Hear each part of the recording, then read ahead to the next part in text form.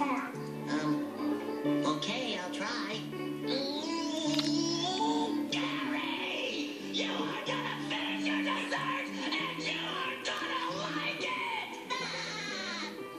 your That's not what I Ooh, good one. No, you're supposed to explode into a million pieces. Why would I do that? Because the pie you ate was a bomb. what pie? the one I the 25 bucks, and I didn't know it was a bomb. Anyway, it's that, that pie. Pie. Oh, you mean this pie.